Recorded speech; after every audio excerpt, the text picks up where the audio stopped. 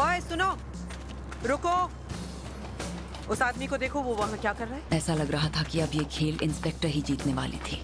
तब उस मुश्किल घड़ी में प्रोफेसर ने अपना हुक्म का इक्का फेंका जिसे उन्होंने ऐसे ही इमरजेंसी के लिए बचाया था। जो क्यों मेरी बात सुनो। प्रोफेसर ने मुझे डिटेक्टिव के साथ हुई बातचीत को रिलीज़ करने को कहा। और फ़ोन पे हुई वो बातचीत सरकार और रकेल दोनों की धज्जियाँ उड़ाने के लिए काफ़ी थी। बर्लिन ने प्रोफेसर को कमज़ोर कहा था तो उन्होंने भी अपनी बाहें चढ़ाई और उन सबको सजा दे दी जो उनके खिलाफ थे। ऐसा शायद उन्होंने इसलिए किया क्योंकि वो जानते थे ये टेप हमें पब्लिक की नज़रों में फिर से हीरो बना देगी। पर रकेल एक जख्मी शेरनी थी, जिसे एक सुराग मिल गया था।